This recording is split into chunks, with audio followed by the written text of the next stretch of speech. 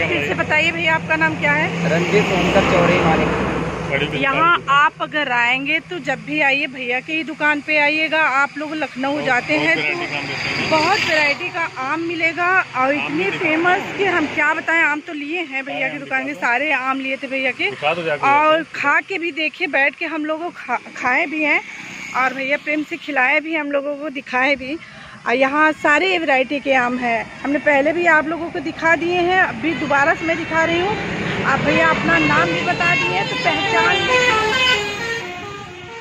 जो कोई ना पहचाने तो भैया को पहचान लीजिए। भैया अपना नाम दोबारा से बोल दीजिए भैया। रंजीत सोनकर। रंजीत सोनकर भैया का नाम है और आप जब आएँगे बस इतना फ़ेमस आम रहता है यहाँ की कि हम बता भी नहीं सकते कितना बड़े आम मीठे मीठे आम। हम लोग तो बैठ के खा लिए दो आम। पता ही नहीं चला। बहुत मीठा है, बहुत अच्छा लगता है। अब घर चलते हैं तो मैं इसी आम का केक बनाऊँगी, जो आज मैंने मलिका आम लिया है।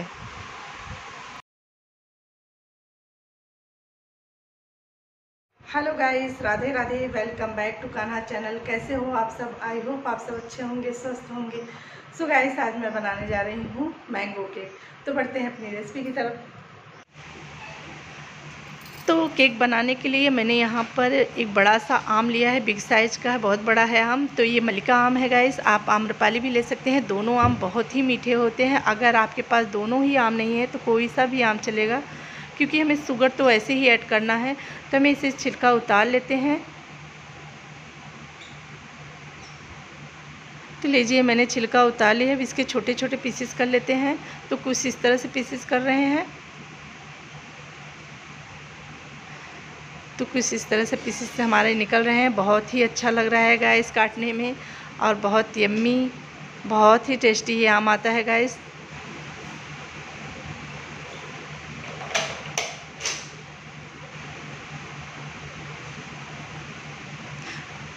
तो लीजिए मैंने सारे पीस को काट लिए हैं और इसे ग्राइंडर जार में पीस लेते हैं। तो अभी हमें दरदरा पीसना है। ज़्यादा प्यूरी नहीं तैयार करना है, एक दरदरा सा तैयार कर लेते हैं। तो कुछ इस तरह इस तरह से हमने दरदरा कर लिया है और इसमें जाएगा चीनी। तो चीनी हमें कितना ऐड करना है? थ्री बाई फोर कप हमें चीनी ऐड करना है। आ, इसे हम पीस लेना है गाढ़ा सा बैटर तैयार कर लेना है।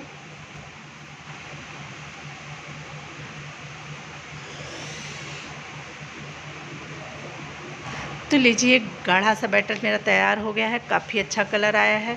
अब इसमें ऐड कर देते हैं सूजी। तो सूजी हमें कितना ऐड करना है? जितना हमने चीनी लिया था, उतना ही हमें सूजी ऐड करना है। थ्री बाई फोर कप हमें चीनी ऐड करना है, साथ ही जाएगा दही। तो दही हमें कितना लेना है? टू बाई थ्री कप हमें दही ऐड करना है, ऑयल भी साथ ही ऐड करना है। तो ऑयल हमने यहाँ पर लिया है one by two cup oil लिया है। अब इसके साथ कुछ भी नहीं जाएगा। और इसे गाढ़ा सा बैटर तैयार कर लेते हैं। साथ ही देख रहे हैं, मक्खियाँ आने लगी हैं। इतनी मीठी आम होती हैं कि मक्खियाँ आना शुरू कर देती हैं। कितनी भी सफ़ाई करो, फिर भी एक फ्लफ़ी टाइप पे मैंने बैटर तैयार कर लिया है और काफ़ी फ्लफ़ी लग रहा है। अगर स्पून डालेंगे आप ना तो आपको लगेगा बहुत फ्लफ़ी फ्लफ़ी लग रहा है। तो इसे हम एक कांच के बॉल में निकाल लेते हैं और देखिए, इस तरह से कलर आया है। हमें कलर डालने की ज़रूरत नहीं पड़ी। काफ़ी अच्छा कलर आया है। अब इसे क्या करेंगे? तीस मिनट के लिए रेस्ट पर रख देते हैं ढककर। तीस मिनट के बाद ही हमें कुछ भी करना है। अगर तीस से ज़्यादा भी हो जाएगा गैस तब भी चलेगा, कम नहीं होना चाहिए। अगर कम हो रहा है तो आप कम से कम पच्चीस मिनट के लिए रेस्ट पर रखिएगा तो काफ़ी अच्छा आपका केक बनेगा। तो हम यहाँ पर ढककर तीस मिनट के लिए रख दे रहे हैं।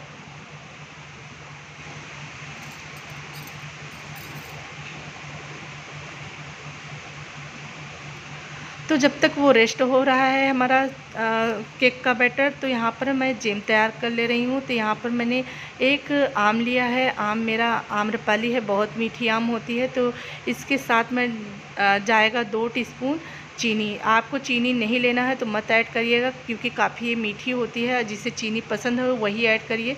और जिसे चीनी नहीं पसंद है ऐड करना तो वो मत करिएगा क्योंकि काफ़ी मीठी होती है। तो यहाँ बच्चे हमारे मीठे केक खाते हैं तो हमें लेना पड़ा है। यहाँ पर मैंने बैटर तैयार कर लिया है, एक पैन लिया है।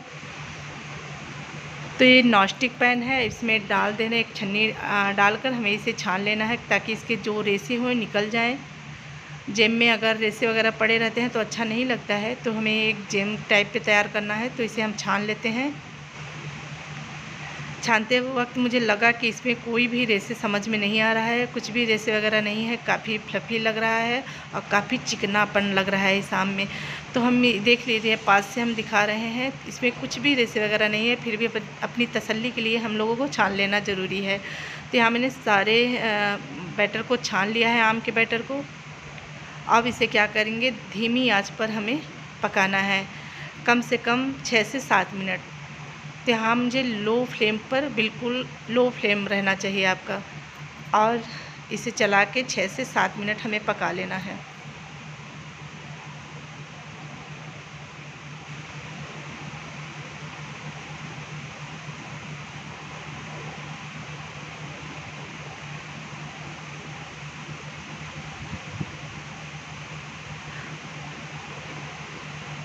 तो देखिए, कुछ इस तरह से होना चाहिए। थोड़ा सा और पकाएँगे, क्योंकि छः से सात मिनट हो गया है।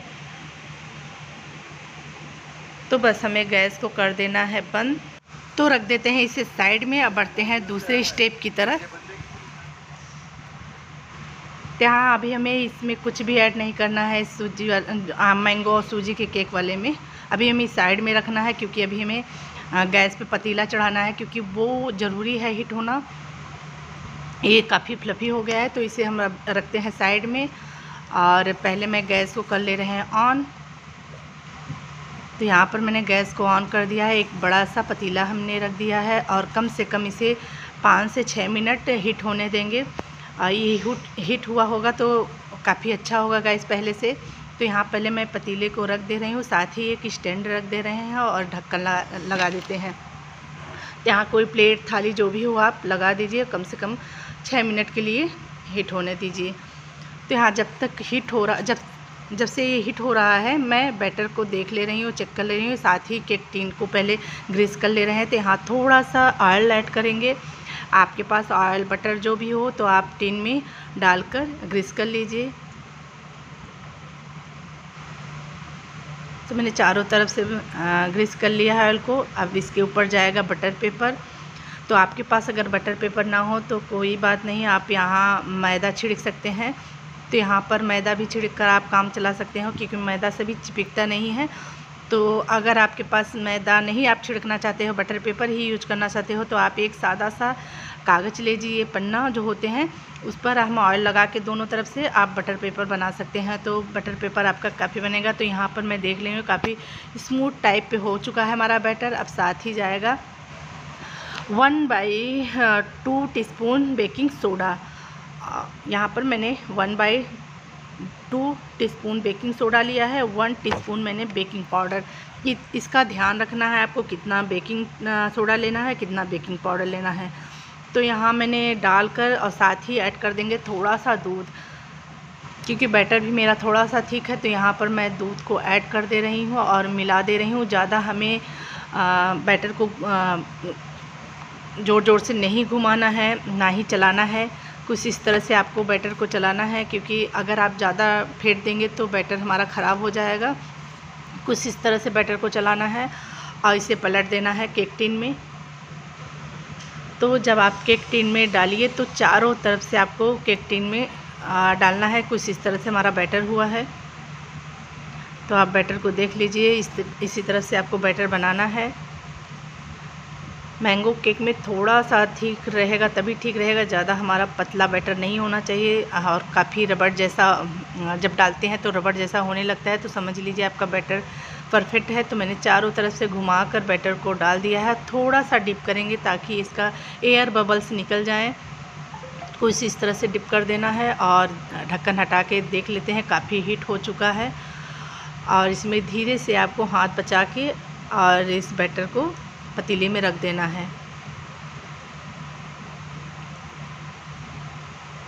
यहाँ पर मैंने पतीले में अपना बेक होने के लिए केक रख दिया है और कम से कम ये 40 से 45 मिनट तक लो फ्लेम पर रखिएगा और हमें हाई फ्लेम पे बिल्कुल नहीं है। यहाँ पर थाली मैं चेंज करूँगी क्योंकि थोड़ा सा इसमें हवा निकल रहा है तो यहाँ मैंने इस थाली का यूज़ किया है और कम से कम 40 से 45 मिनट हमें छोड़ देना है लो फ्लेम पर। हाई फ्लेम पर बिल्कुल मत रखिएगा। तो यहाँ मैं चेक कर ले रही हूँ, कम से कम 45 मिनट हो चुका है। अब इसे एक कॉटन के कपड़े से हटा दे रही हूँ थाली को और काफ़ी फुली फुली हमारी केक समझ में आ रहा है। देखिए, स्टिक में बिल्कुल नहीं लगा, फिर से दोबारा से हम चेक कर ले रहे हैं। तो देखिए, हमारे स्टिक में बिल्कुल नहीं लगा है केक। और समझ जाइएगा, हमारा केक बन चुका है। तो यहाँ मैं पाँच मिनट के लिए इसी भगोने में छोड़ दे रही हूँ। पाँच मिनट के बाद ही निकालेंगे।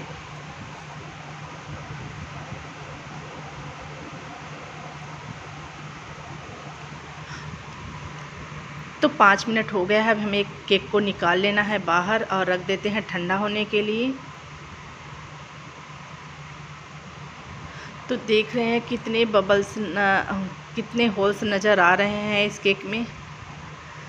तो लीजिए ठंडा हो चुका है और इसे चाकू की मदद से हमें चारों तरफ़ से निकाल लेना है। वैसे तो छूट चुका था मेरा केक चारों तरफ़ से, फिर भी अपनी तसल्ली के लिए हम चारों तरफ़ से निकाल दे रहे हैं ताकि कहीं फंसा ना हो, एक थाली लेते हैं या प्लेट ले लीजिए और इसी तरह उल्टा करके थोड़ा सा डिप कर दीजिए हाथों से और आपका केक आसानी से निकल आएगा। तो लीजिए केक बन गया है और काफ़ी अच्छा बना है, काफ़ी फ्लफ़ी बना है और देखिए कितना होल बना है।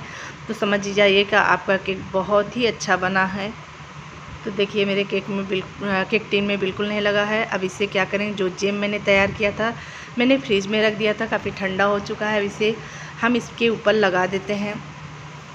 एक सुंदर सा केक बना देते हैं। तो यहाँ मैंने सीरम भी लगाया था। सीरम मैंने दिखा नहीं पाया। तो पहले सीरम मैंने लगा के तभी ये जेम को लगा रही हूँ। आप इसमें बीज से कट करके सीरम दोनों तरफ़ से लगा सकते हो, ताकि हमारे अंदर से भी जो भी सीरम पहुँच जाए, मिठास हो तो यहाँ पर मैंने सीरम तैयार किया था और उसके चारों तरफ़ से मैंने डाल दिया था ऊपर से। तो चारों तरफ़ फैल चुका है अच्छे से और इसके ऊपर ये जेम लगा दे रही हूँ आम का।